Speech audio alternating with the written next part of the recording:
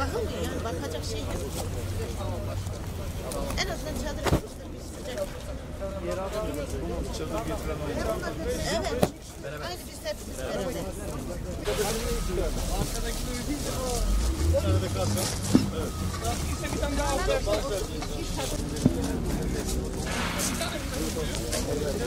Bugünden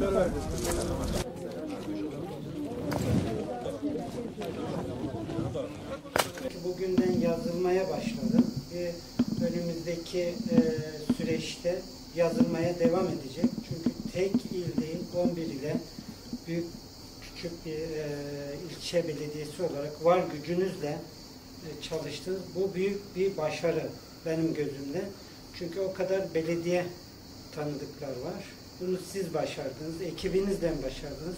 Onun için e, dün geldi bir kısmı da mecburen işinden dolayı Malatya'ya geri döndü. Evet.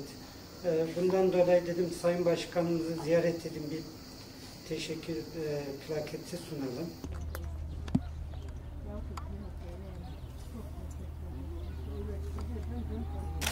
İnanıyorum.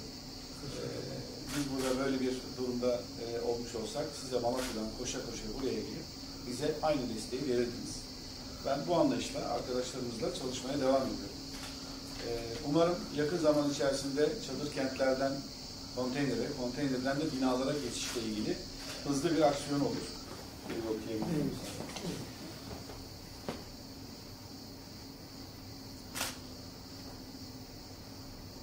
Kemal Gülsel Mahalle Muhtarı olarak sizden Evet. almaktan dolayı onur duyuyorum. Çok teşekkür ederim.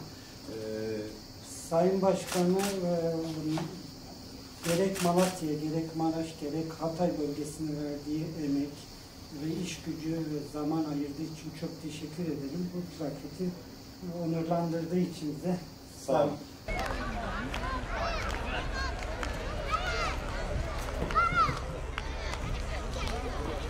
Burada tabii devlet, hükümet e, olması gereken aksiyonu bir an önce yapıyor olması lazım.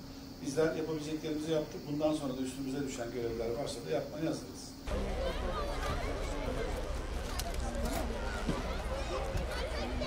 İyi çalışan ekibimize. Sağ ol. Ben de onlara teşekkür ederim. Minnettarız gerçekten. Hep beraber iyi, iyileşeceğiz. İnşallah hep birlikte.